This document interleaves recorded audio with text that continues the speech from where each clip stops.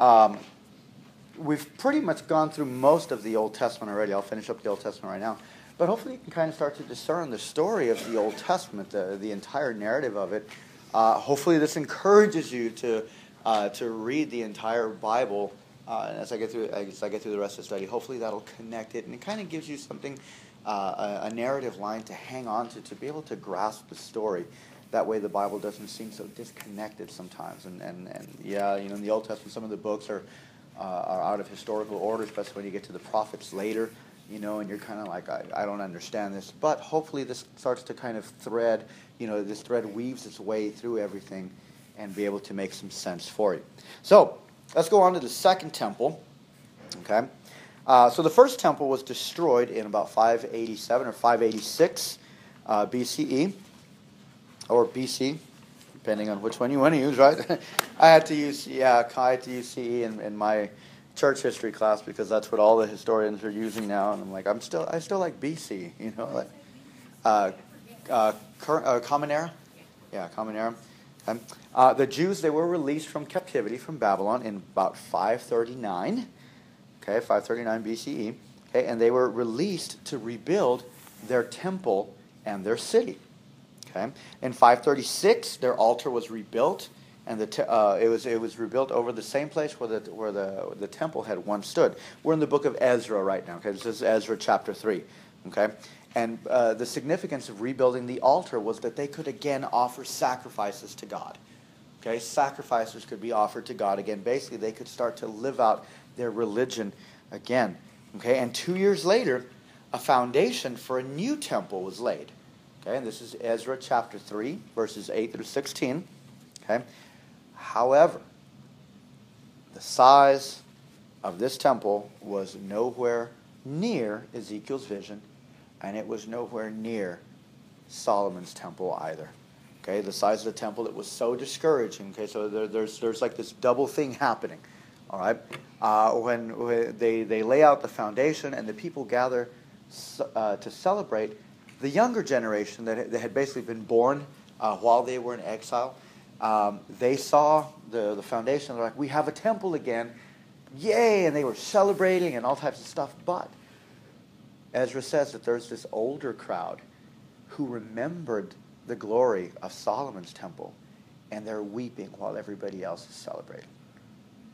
They're weeping. So you have this sort of uh, uh, you have this this mixed group Okay, uh, one is celebrating because they have uh, they have at least the foundation of a temple and they're headed in the right direction. But those who remembered the old temple could only weep in the light of the former glory. And so here are the questions, right? Have God promise has have God's promises failed for His people? Was God with His people or not? You know, in a, in a sense, I mean, the question, especially after after Ezekiel leaves you longing for this huge 800 by 800 temple complex it's basically, hey, where is that temple? Where is the restored presence of God that He promised us through the prophet? What was the size of this new? This new temple, um, it doesn't give any dimensions, and significantly, why? Probably because this is not that temple. Yeah, because this is not that temple, but it was smaller. Okay, it was significantly smaller, so it had to have been less, uh, less than 90 by 30 have been less than 90 by 30. Now, perhaps through the discouragement of the older generation or other concerns, the Jews ended up putting off the building of the house of God and they began building their own houses instead. So this is the prophet Haggai. Okay, this is the prophet Haggai. Uh, Haggai prophesied this attitude and the abandonment uh, of God's building. Basically, he comes to them and he tells them, this is Haggai's phrase, he says, Consider your ways. You're building up your own houses you're building up your own luxury. You're building up your own comfort, and the house of God lies in ruins. Consider your ways. Whatever he told them, Zechariah also gets a vision. Zechariah and, Haggai prophesied about the same time. Zechariah, with his visions, he spurs them on, and they finally do build the temple. Okay? But we need to hear God saying through these prophets, not just in an upset tone, like, hey, you know, what's going on here? You guys are building your house, and what about my house? We don't want to hear God that way. We need to hear God saying, guys, hurry up. I want to be with you guys. I want to dwell with you. Build the house that I may dwell with you. Again, we need to hear God's longing to be with his people expressed through the prophets here. The people, they eventually complete the temple, but again, There's no recorded time of, you know, uh, there, there's no recorded celebration. There's no recorded uh, Shekinah glory filling this temple. We don't see that anywhere. And maybe the people were discouraged or whatever, uh, but uh, the, God didn't return, in a sense, visibly to this temple. And moreover, the hearts of this people had not changed. And the prophet Malachi, the last book in the Old Testament, he leaves us and the Old Testament longing not only for a better people, but for a better temple. So now, that takes us, and this is going to forward us ahead some 400 and some years. That's going to forward us ahead to the time of Christ. Okay. Now, recall the significance of the garden, okay, and the tabernacle and the temple. These were the places where God comes down to dwell with men. Okay, these are the places where heaven and earth meet. They are the places where one went to meet with God and to get right with God. So far, God has condescended down to man in places. But in Jesus Christ, God comes down in the form of a human being. In Christ, God comes down as a man. In Jesus Christ, there is God walking amongst us. Listen to John's description. I'm going to focus on the Gospel of John, but John's description of the person and ministry of Jesus, uh, Jesus in various places in John's Gospel. Consider first John chapter 1, verse 14. John 1, 14. We read here, it says, The Word became flesh and dwelt among us. The Word became flesh and dwelt among us. Now, the Greek word that's translated here is dwelt. Okay, and I think in some older versions uh, it is translated this way. It says that uh, it's it can be uh, translated as pitched his tent or tabernacled among us. Okay? Pitched his tent or tabernacled among us. Next, consider in John chapter 1, verse 51, when Nathanael, when he's called to Christ, remember Nathanael, he's contemplating the mysteries of the universe underneath the fig tree, right? He's just sitting there daydreaming and doing all types of stuff. And when Jesus calls him, and Nathanael looks at him and, and, and uh, you know, probably like, what's so special about this guy? And then Jesus tells him, you know, hey, I saw you when you were out there under the fig tree. And that's enough to blow Nathanael's mind and go, hey, you know me, you know where I was at, you know. Uh, and and uh, uh, he says to him here, uh, or he says, you know, hey, you know, you are the Messiah, you are the long-awaited one. And Jesus tells him this. He says, "Truly, truly, I say to you, you will see heaven opened, and angel and the angels of God ascending and descending on the Son of Man." Now, does that sound familiar? Angels of God ascending and descending. Anybody familiar with the Old Testament? Genesis 28, Jacob's ladder. Yeah, Jesus. And he says, on who? On the Son of Man, on himself. Jesus is claiming to be the ladder, the stairway, the temple, the ziggurat that Jacob saw connecting heaven and earth. Jesus is claiming to be that temple, that ladder that connects heaven and earth, so that God could be with Jacob, so that God could be with his people. In other words, must be obvious, right? The place where God comes down to be with his people isn't really a place, it's a person. The place where God comes down to be with his people isn't a place, it is a person. The temple is a person. Listen to Jesus in John uh, chapter 2, verse 19 when he's speaking, uh, the religious leaders, uh, uh, after after clearing the temple, they, you know, hey man, what are you doing, clearing all our stuff, you know? And he tells them, you know what, destroy this temple, and I'll raise it up in three days. But what was he referring to, right? It, John says later, we figured it out in verse 21. He says later, yeah, he was referring to the temple of his body, but at that time we didn't know what he was talking about, right? Uh, to use a fancy uh, theological phrase that we have down here, uh, John was cabezudo, right? Okay, they didn't get it. Okay? Uh, but listen to D.A. Carson explain a few things here about what's going on. He says, John explains that what Jesus was really referring to in verse 19 was his own body, that body in which the Word became flesh. The Father and the incarnate Son, they enjoy unique mutual indwelling. Therefore, it is the human body of Jesus that uniquely manifests the Father, the living abode of God on earth, the fulfillment of all the temple meant, and the center of all true worship over against all other claims of holy space. In this temple, the ultimate sacrifice would take place. Within three days of death and burial, Jesus Christ, the true temple, would rise from the dead. Now, the temple, it symbolized the presence of God on earth. That is all fulfilled in Jesus. Jesus said, again, destroy this temple, and he was speaking about the temple of his body. In Hebrews chapter 10, verses 19 through 20, Hebrews 10, 19, uh, 19 through 20, it says this. It says, Therefore, brothers, since we have confidence to enter the holy places. Now, what is, what is he talking about? What holy places? The places inside the temple. The holy place and the most holy place, the Holy of Holies. He says, We have confidence to enter the holy places by the blood of Jesus, by the new and living way that he opened for us through the curtain that is, this is the Hebrew still, it says, that is through his flesh.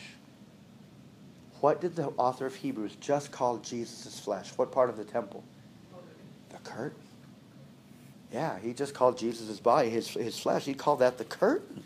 The curtain that referred to here is the curtain that separated the holy place uh, in the temple from the Holy of Holies, where atonement was made on the mercy seat on the ark. Notice that the body of Jesus is being compared to portions of the temple in calling his flesh the curtain. Okay, so when his flesh is destroyed, so was the curtain, right, in the temple. What did it say? When Jesus died, what happened? The curtain split inside the temple. When that happened, the curtain that restricted God's presence to the Holy of Holies and that kept us out of the most holy place that's taken away. And jesus not only he, he not only takes us into the very presence of god he is the presence of god. And he unleashes the presence of god into the world. G.k beale and mitchell kim they continue this thought they say jesus not only takes over the temple's role in sacrifice but becomes the unique place for god's special revelatory presence God began to manifest his glorious presence in Jesus' life, death, and resurrection in a greater way than it was ever manifested in Israel's old physical temple structure. Think about that, right? I mean, in a sense, Jesus, the coming of Jesus, the persons of, G- of Jesus, as ordinary as it seems, is the most glorious presence of God among us. Not a cloud, not a bunch of light, not you know in, in a sense here i mean not just like emotional feelings or things like that not just an ecstatic experience but jesus himself is the most glorious presence of god among us so permit me to bring this home just a little bit in a sense kind of taking a little sort of sidestep okay but think about it i mean when we feel like we're alone when we need comfort when we need you know true security think about it we go to christ and more theologically correct christ comes to us. He comes to us in his own person. Jesus really is God with us. He is Emmanuel. And now the church. When Jesus prophesied the rebuilding of the temple, because he did, right? He said, destroy this and I will build it back up, okay? Uh, in Matthew 21 42, Jesus claimed to be the cornerstone for the new temple that he would build. Okay? Matthew 21 42, Jesus claimed he would be the cornerstone for the new temple that he would build. The church. The church is the body of Christ. Okay? And in some mystical way, we are connected with Christ, who is the fulfillment of all that the temple signifies. So let's, let's put some puzzle pieces together, right? Christ, okay? His body, church, body of Christ. Christ is rebuilding his body. So what is Christ building up? church. He's building up the church. So, because of our union with Christ, the New Testament collectively calls the church the temple. Okay, listen to a few passages here. The first one is from 1 Corinthians chapter 3, verses 16 through 17. 1 Corinthians 3, 16 through 17. It says this. It says, Do you not know that you are God's temple. And here the you in Greek is plural. Okay, so Paul is speaking to the entire church. Okay? He says, Do you not know that you are God's temple and that God's Spirit dwells in you?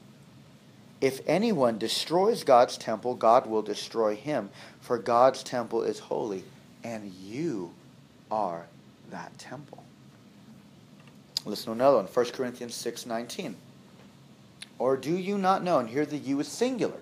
So now it's individualizing us, okay? Do you not know that your body is a temple of the Holy Spirit within you, whom you have from God? Do you not know that your body is a temple of the Holy Spirit? Next one is from 2 Corinthians 6 16. It says this it says, What agreement has the temple of God with idols? And here in context, Paul is referring to believers as the temple of God. For we are the temple of the living God. As God said, I will make my dwelling among them and walk among them and be their God, and they shall be my people. A couple more. Ephesians chapter 2, verses 19 through 22. Ephesians 2 19 through 22 says this it says so then you are no longer strangers and aliens but are fellow citizens with the saints and members of the household of god built on the foundation of the apostles and prophets christ jesus himself being the cornerstone in whom the whole structure being joined together grows into a holy temple in the lord in whom you also are being built together into a dwelling place for god by the spirit being built into a dwelling place for God. Okay, last one. 1 Peter chapter 2, verses 4 through 6. 1 Peter 2, 4 through 6 says, As you come to him, a living stone, rejected by men, but in the sight of God, chosen and precious, you yourselves, like living stones, are being built up as a spiritual house to be a holy priesthood, to offer spiritual sacrifices acceptable to God through Jesus Christ. For it stands in Scripture. Behold, I am laying in Zion a stone, a cornerstone, chosen and precious, and whoever believes in him will not be put to shame. So notice here that the corporate church is referred to as the temple of God. Okay, individual Christians are likewise referred to as the temple of God in our individual bodies. Okay, we are temples of the living God. We are called a building that is built on the apostles and the prophets. We are called a spiritual house. We are called a dwelling place for God. We are called priests of God who serve in God's temple. In Acts 2 on the day of Pentecost, okay, the corporate church, right, 120 in the upper room, okay, this is where the church collectively, the, te- the new temple of God, when the Spirit comes down, what does that kind of take us back to in the old? When the glory of God filled the temple or filled the tabernacle.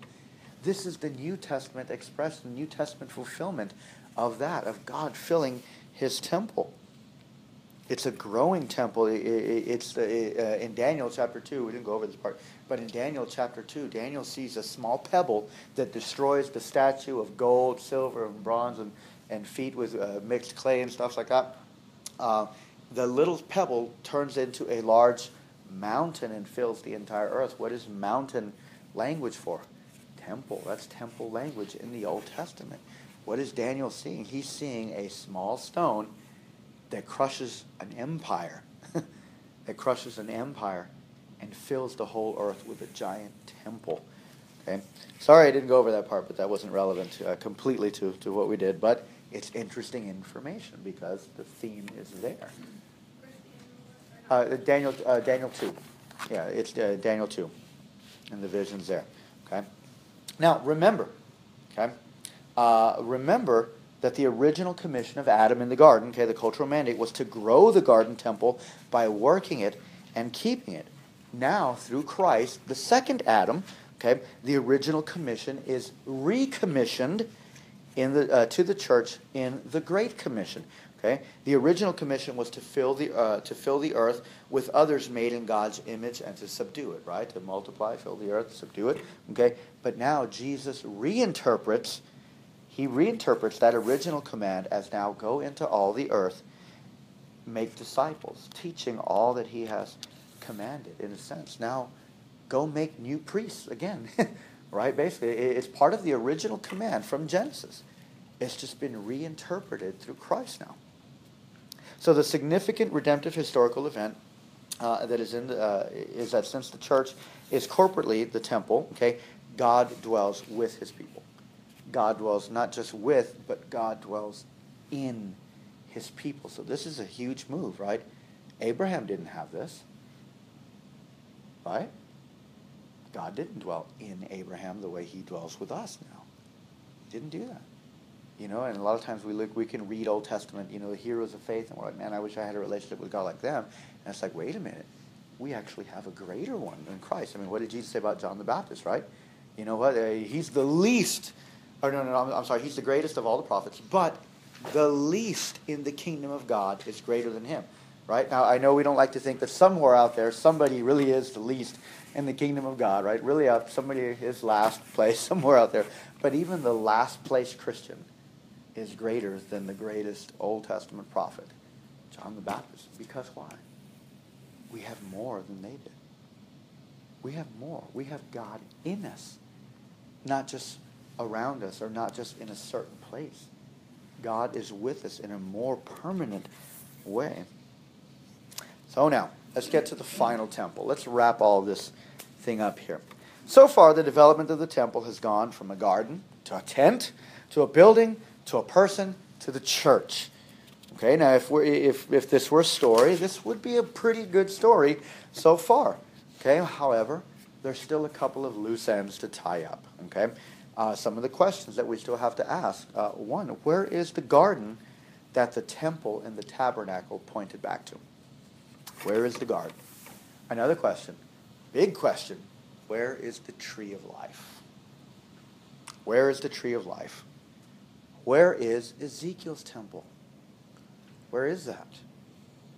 Will the whole world be full of the glory of God? Or are we doomed, in a sense, to these sort of spiritual promises only and just kind of, well, I'll just have the presence of God with me, but we're still kind of in exile in this world. I mean, this is still a hostile world that we live in the book that ties up all the loose ends of the New Testament from the Old Testament is the book of Revelation. Now, the book of Revelation, I know it's often avoided uh, because it appears to be rather cryptic or it appears to be rather scary. you know, and then so, uh, you know, if you've seen any movies that, uh, that deal with end time stuff, you know, the book of Revelation can appear rather frightening. Okay? Uh, but one of the things that makes the book of Revelation so tough is that it communicates by symbols. Okay, it communicates by symbols and in language that we're not very familiar with. Okay, for many, the book of Revelation, therefore, is a closed book.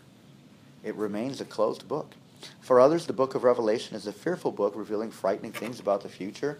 Okay, but the key to the book of Revelation, right? I'm going to give everybody the secret. No, because John knew this. It's not. It wasn't really a secret for the original readers. It's the Old Testament. In a sense, the key to the book of Revelation is the Bible itself. Scripture interprets Scripture. It's the Bible just interpreting the Bible. Okay, um, much of the imagery that John communicates uh, uh, through is from God's own Word.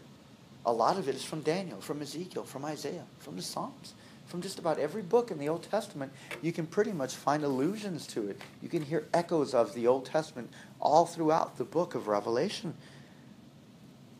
Another help in reading the book of Revelation is to understand that the entire Trinity Okay, in the, in the opening introduction of the book, God sends, the entire Trinity sends his own greeting, and God wants us to be encouraged by this book. That is, this book is not meant so, you know, well, you can waste all your time, you know, trying to figure out the puzzle. No, God wants us to understand the book. That's why it's called a revelation. It's not called an obscuring or a hiding, okay? Um, but he wants to encourage his church because we're in battle. Okay, I mean, you read the book of Revelation. I mean, uh, who are our enemies? Well, we have our persecutors. There's there, were the, there was the Roman Empire back then and the Jews. Okay, there was uh, false teachers. But not only that, apparently there's a big seven-headed dragon out there that wants to get us. Okay, uh, there's this beast that comes out of the sea. There's another beast that comes out of the earth, and there's this woman walking around with a cup, riding on top of this beast, running around out there that wants to do us all harm. And so the book of Revelation reveals all these enemies that we have, and they're very scary enemies. John was even frightened at one of them, and one of them was uh, so shocking that he almost wanted to worship it. And um, anyway, that's a different part of the book. But these are our enemies, and the book of Revelation is meant to provide encouragement against those enemies so that we can remain faithful. Okay, so when it comes to the temple, okay, and in tying up the themes uh, of the temple, it's going to be Revelation chapter 21 all the way through 22.5. I'm not going to read all that, okay? Uh, but that's what's going to tie up all the loose ends of the temple, okay? And Revelation chapter 21 all the way through chapter 22, verse 5. Okay? And so hopefully this will be the end that helps us to see that the Bible begins with the temple, and I'm going to assert also ends with a temple. All right, so let's see that. Okay? A survey of some of these passages will help us answer our questions. First, let's look at Revelation chapter 21, verses 1 through 3. Okay? Revelation 21, 1 through 3. It says, Then I saw a new heaven and a new earth, for the first heaven and the first earth had passed away, and the sea was no more. And I saw the holy city, New Jerusalem, coming down out of heaven from God, prepared as a bride adorned for her husband. And I heard a loud voice from the throne saying, Behold, the dwelling place of God is with man.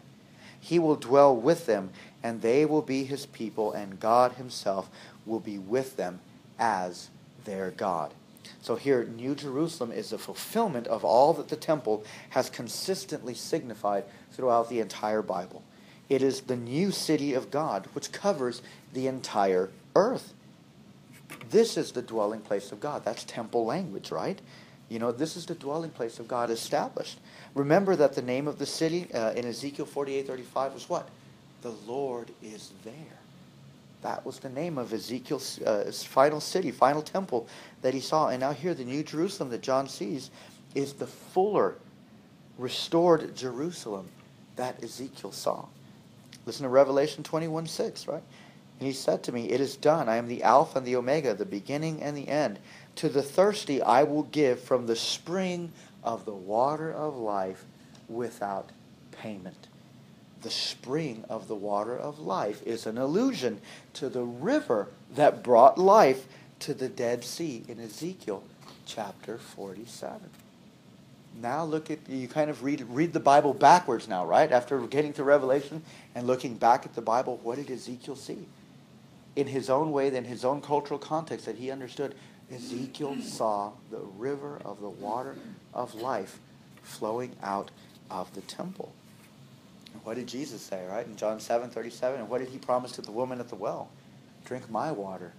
You'll have springs welling up to eternal life. Right? Think about that.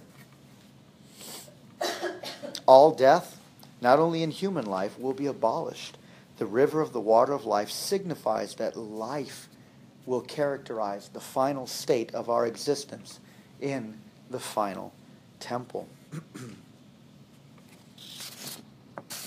Revelation 21, 9 through 14 says this says, Then came one of the seven angels who had the seven bowls full of the seven last plagues, and spoke to me, saying, Come, I will show you the bride, the wife of the Lamb.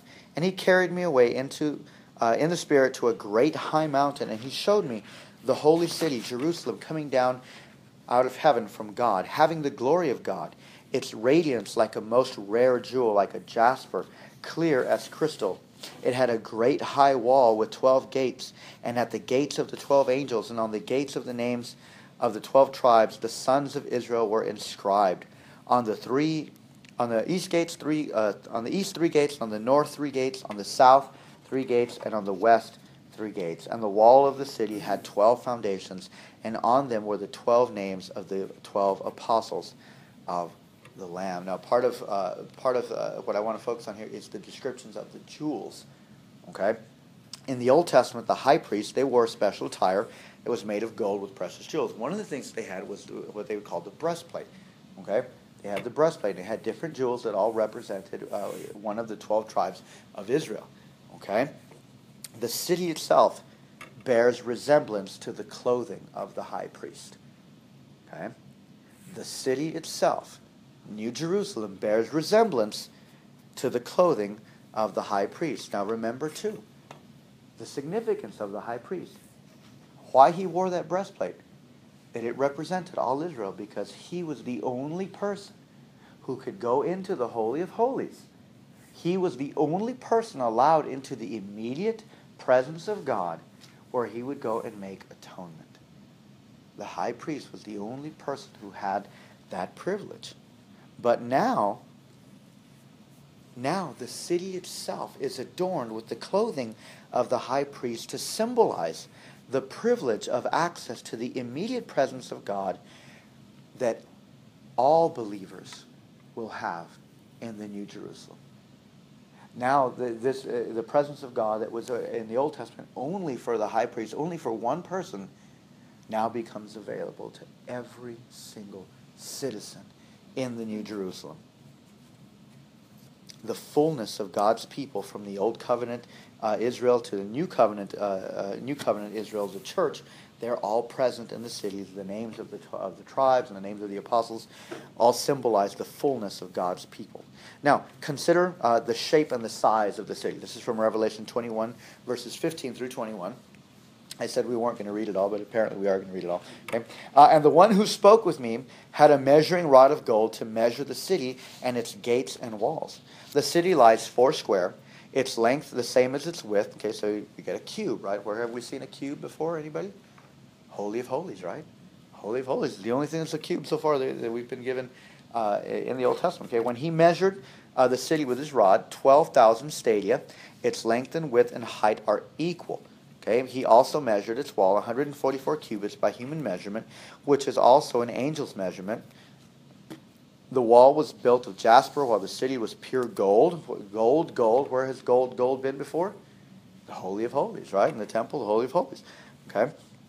Um, uh, adorned with every kind of jewel. The first jasper, the second, uh, the second sapphire, the third agate, uh, emerald, onyx, carnelian, chrysolite, beryl, topaz, chrysoprase, uh, jacinth, and amethyst. Okay, and the twelve gates were twelve pearls. Each of the gates made of a single pearl, and the streets of the city uh, was pure gold like transparent glass. Okay, the stones that are mentioned here, okay, uh, those are the ones that went on the breastplate of the high priest with some slight differences because the, the, the names as they were called in the Old Testament time and what they were called at, uh, uh, in the New Testament time are different. But it's the same stone, just different name, just so you'll know. Okay, but anyway, but the pure gold of the city reflects the pure gold of the Holy of Holies in the temple the size and the amount of gold in the city is clearly figurative. Okay, if I if I remember the measurements correctly, if you take all the gold that is at Fort Knox right now, you can make a 19 foot cube with that.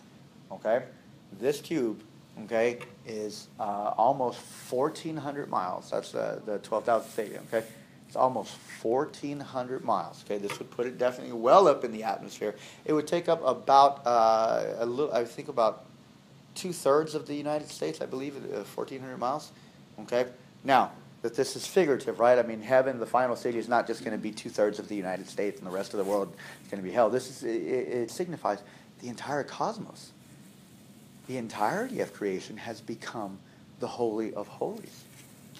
What was intended in creation happens at the end.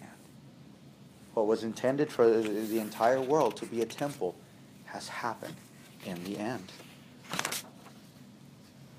Revelation 21 continues. And I saw no temple. This is verse 22. Revelation 21. And I saw no temple in the city, for its temple is the Lord God, the Almighty, and the Lamb. And the city has no need of sun or moon to shine on it, for the glory of God gives its light, and its lamp is the Lamb. By its light the nations will walk, and the kings of the earth will bring their glory into it and the gates will never be shut by day, and there will be no night there. There they will bring into it the glory and the honor of the nations, but nothing unclean will ever enter into it, nor anyone who does what is detestable or false, but only those who are written in the Lamb's book of life. So in biblical times, and if anybody has seen like Conan the Barbarian, right, or some of these older movies, those are just what I go to, cities were usually built around temples. Okay? Cities were built around temple. Usually you put your temple in the highest place and then you built your city around there. Okay? That's pretty much what you did. Okay? But here, here's a city with no temple.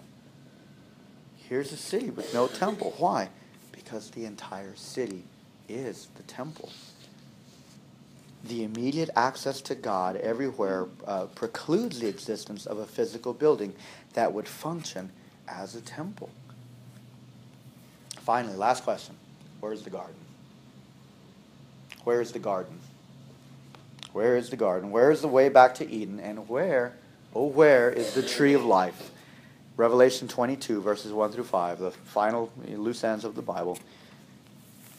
Then the angel showed me the river of the water of life, bright as crystal, flowing from the throne of God and of the Lamb through the middle of the city of the street Also, on either side of the river, the tree of life with its twelve kinds of fruit, yielding its fruit each month.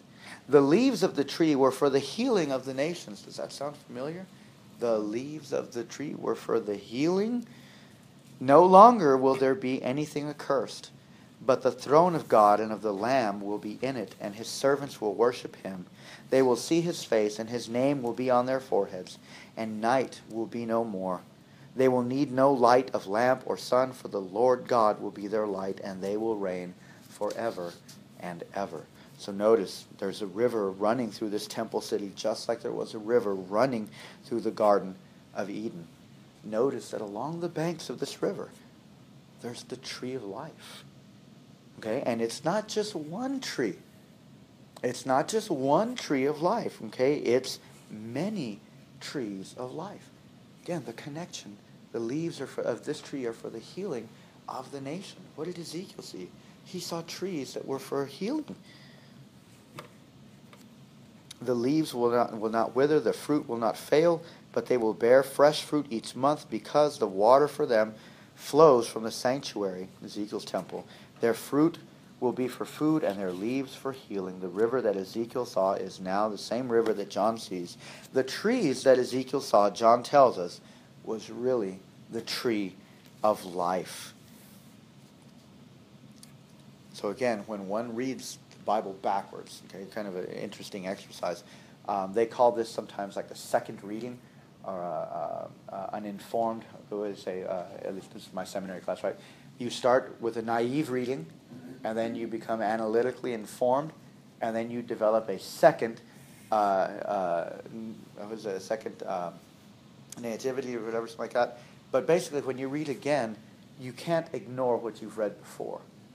So in a sense, this is kind of what I mean by reading the Bible backwards, looking through Revelation, and looking back uh, to Genesis, because it's hard to do from Genesis to Revelation. You kind of like, well, get a little lost, you know. But reading backwards, stuff starts to pull together a little bit. It starts to pull together. Okay, so when you read backwards, uh, you can see the temple goes all the way back to the Garden of Eden. In fact, it would not be wrong at all to assert, with other scholars, that the entire new creation is what the localized temple pointed to and symbolized all along. This wasn't God changing his mind as he went and like, well, let me take this in a different direction. This was always God's intention. And then what we see throughout the story of the Bible is that God always gave hints about what he wanted to do starting in Genesis. They were already there. In the beginning, there was a garden that we lost and were expelled from. We lived life east of Eden, yet uh, it doesn't it make sense too that what was Abraham looking for? Abraham wasn't looking for a garden. What does Hebrews say? Hebrews 11:10 it says that he was looking for a city whose designer and builder was God. He wasn't looking for a garden. Abraham even already picked up the hint. He is looking for the city of God the implications of that are pretty rich for urbanization, right? Especially as we move along there, you know. Um, it's Jesus Christ alone who takes us into the city of God. He is the one who purchased our citizenship there by losing his own citizenship on the cross so that he could give us his. So let me close up here before I go to the Q&A. As we ponder the story of the Bible, the story of the temple can tell us the whole narrative. In the beginning, God created a grand garden temple. Through sin, we lost that temple. But God insisted on dwelling and walking with his people again so that he gave us glimpses of the work that he would accomplish in the little temples, in the tents and altars of the patriarchs, to the tabernacle, to the temple. God then came near in Jesus Christ, becoming the fullness that all the hints he gave looked forward to. Jesus Christ, he is the temple that ends all other temples. Jesus Christ is the temple that ends all other temples. If anybody tells you that they can't wait to build up another temple, they don't understand Christ. They don't understand the significance of Christ. Okay? Jesus Christ is the temple who ends all other temples. Jesus Christ is God's final temple. So, in case you don't see it, okay, it cost Jesus everything to be with us. It cost God his own son so that he could give us his own presence to be with us. And it's through that redemptive restoration he makes a church, he makes a temple for his spirit that God may dwell with his people. And one day he will bring the fullness of that temple in a new heavens and in a new earth. This is the story of the Bible through the story of the temple. God had always intended to fill the earth with his glory. There's no sin that will uh, that can stop that. There's no transgression that can make that not come to pass. The life, death, and resurrection of Jesus Christ guarantee that the whole world will be full of the glory of God, and we will one day be able to pray with David, who longed for this but couldn't do it because he was the king and not a priest. We will be able to dwell in the house of the Lord forever. And amen.